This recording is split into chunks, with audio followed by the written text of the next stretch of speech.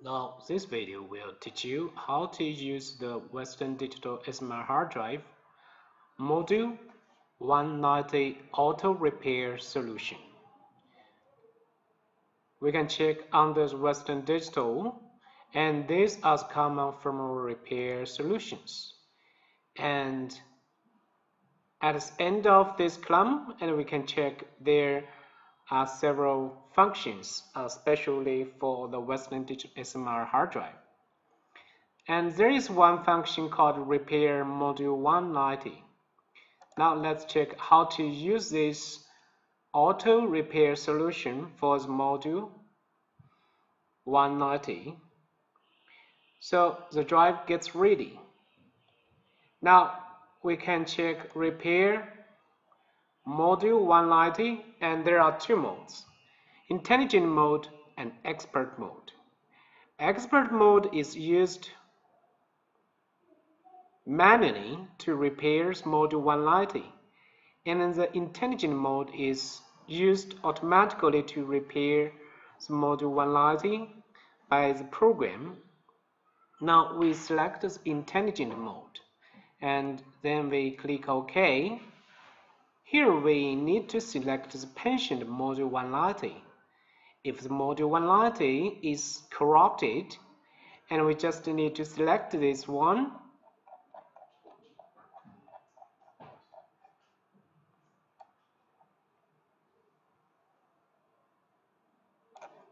Okay, so this is module 190. We have imported to this repair manager.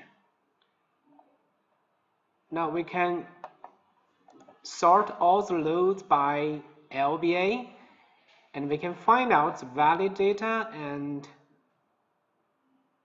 unallocated space. Because this is one new drive, because there is just a few data inside. And this is node interface.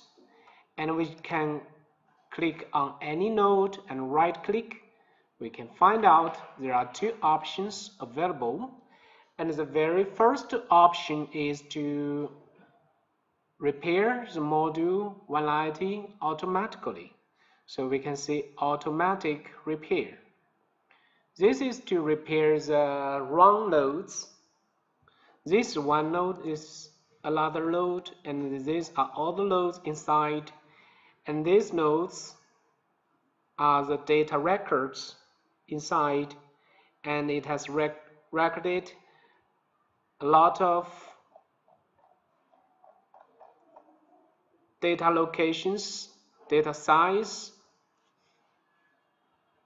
inside. So the nodes are very important. So we just select the auto repair and we can find out this is the repaired T2 data to be saved. All the valid data are stored in this T2 data. So we just simply click Save. There is one has been existed and we can replace the T2 data we just backup because this is the one we just uh, repair automatically with this module 190 repair manager. So now we can use the repaired T2 data to load it to the RAM to fix the 00 problem.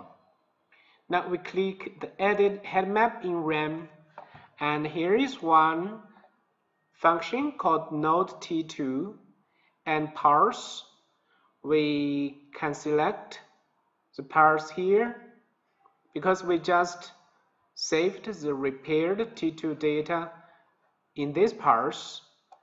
And we can see here is the one. This is a repaired T2 data parse. And so we select this parse. We click load.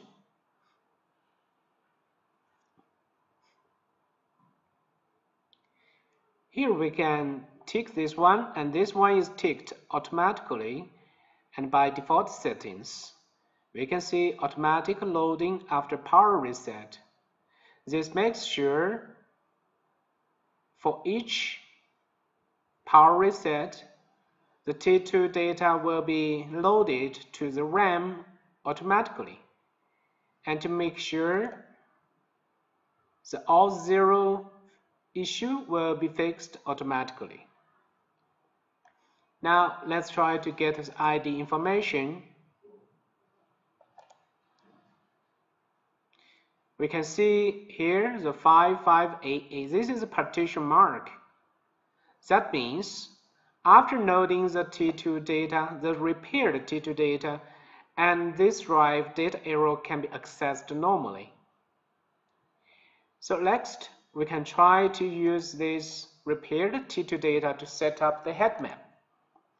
We can see there is one new project, and we can use disk image. We can set up one uh, virtual disk, this one. Click finish. Now we can see on the left side, we can use head map. Set up head map. This is Western Digital, so we need to select this brand. And we need to select the last one, the WD ROYL SMR.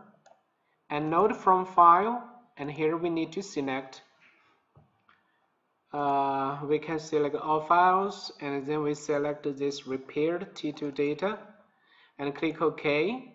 Then we click OK to continue the head map, head map setup. Now we can see from the NOC window, we just need to wait until the head map process complete. This one is very fast. Now we can see the program is analyzing the T2 data, the repaired T2 data file, and we can see the head information has been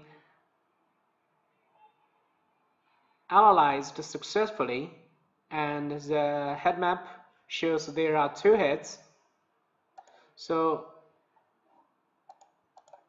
the head map has been set up successfully so we, we can use this repaired T2 data file to set up the head map and then we can start the disk image.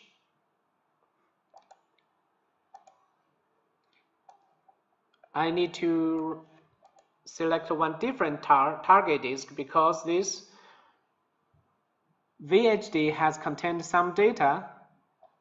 The program detected the data and refused to write to make sure the data is not destroyed by the overwritten new data.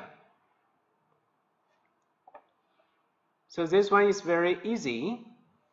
Users, here we can select target disk, set a new target disk, yes, and we can create one new VHD here Okay, we, uh, we select this new VHD as one target drive.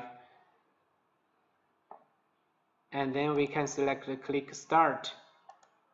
Now we can see that the image starts successfully to image the patient drive to this new VHD. So this is how we use the Module 190 auto repair solution.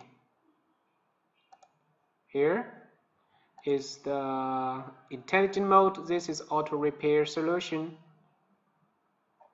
So it's very easy to use this one. Okay.